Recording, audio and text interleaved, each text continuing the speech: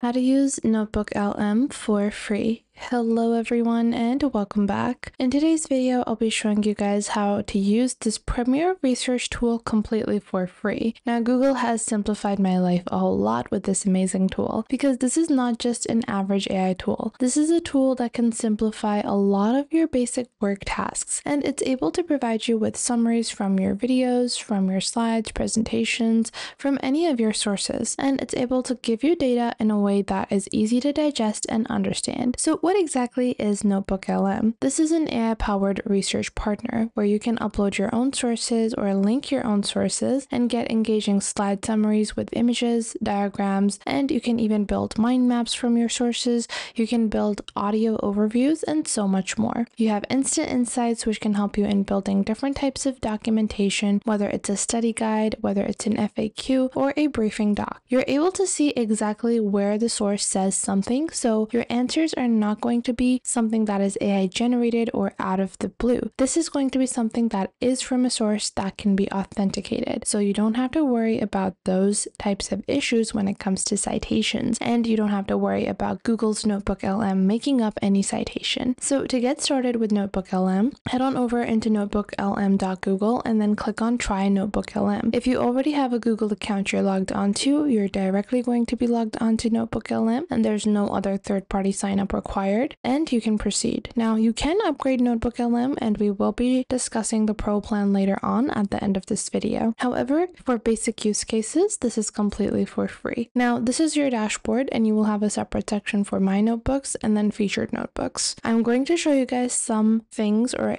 one exact notebook I've built and then we're going to proceed with building a brand new notebook. So this is the notebook I've built. I've added around 10 sources here and then on the right side, you guys can see it has provided me with a summary summary. Then I can proceed with typing in my questions and on the bottom it shows me some suggested questions that I can ask. On the right side you have audio overviews, video overviews, mind maps, and then reports. Under reports you have four types, briefing docs, study guides, FAQs, and timelines. So I have built a mind map. If I click on this over here, you guys can see this is the basic mind map. If I click on core areas, it expands. If I click on HRM, it's going to expand further. And then selection, training, and recruitment. Then if I click on recruitment here, it's going to ask the next question, what these sources say about recruitment in the larger context of human resource management. And then from here, you guys can see that this is all the information that is related to recruitment in my 10 sources. So just like so, we can proceed with building our own notebook as well. Now I have built a audio overview. You guys can see on the right side, it has two different models. So it has a interactive model and a simple play model. The audio overview basically sounds like a podcast. So you can just listen to your sources. Have you ever stopped to truly consider what job performance means? It's a phrase we toss around constantly in the workplace, right? Often seen as, well, the ultimate measure of success in human resources. The ultimate dependent variable, as they say in the research. Exactly. But if you try to pin it down, it's uh, notoriously complex. It really is. So today we're taking a deep dive into this crucial concept. Yeah, our mission is really to strip away the surface. You mm. know,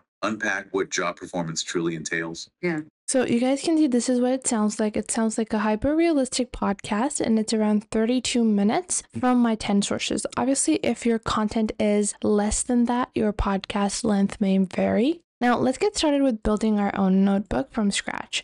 So I'm going to click on create notebook. Once you do that, you have to add your sources. Now, if you don't have any sources yet, you can click on discover sources and just add what you are interested in and Google's Notebook LM will find sources for you. However, if you already have your own sources, you can upload those files over here, whether it's PDF, TXT, Markdown, audios, or you can add Google Docs, Google Slides, links to websites or YouTube videos, or even copy and paste your text. There is a source limit of 50 sources per notebook within Google's Notebook LM right now, but this is for the free version. So what we're going to do is I'm going to show you guys how I do my research and how I like to add my sources. So I'm going to go into Google Scholar and I've just searched work engagement because I want to see what all the latest research about burnout and work engagement is. So I'm going to go on ahead, put in 2021. So since 2021, what exactly are we, you know, looking at when it comes to work engagement? What are the studies saying? A meta analysis. I don't want meta analysis. I'm going to proceed with these and I'm just going to open up a couple of different studies. Now, I don't like to read through all of these. I just like to just ensure that these are studies and not just books. Now, this is um, another research, research. Then we have this among Chinese workers on creative performance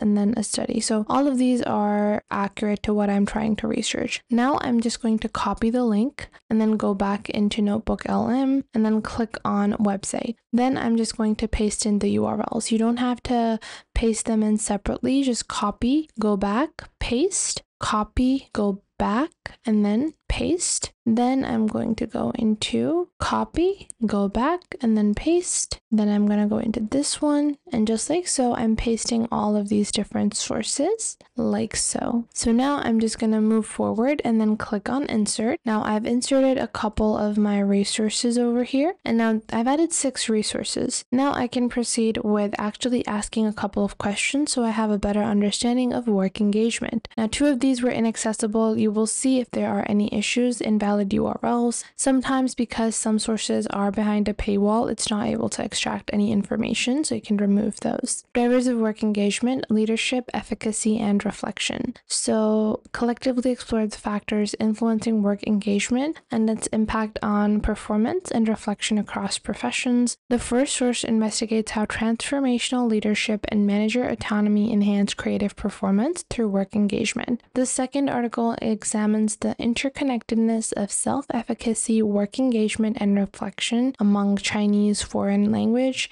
teachers, finding positive correlations. And the third resource is offering a social psychological framework for understanding work engagement. Now, I can proceed with asking follow up questions. I can ask it to build an AI overview for me, as well as build a video overview and a mind map.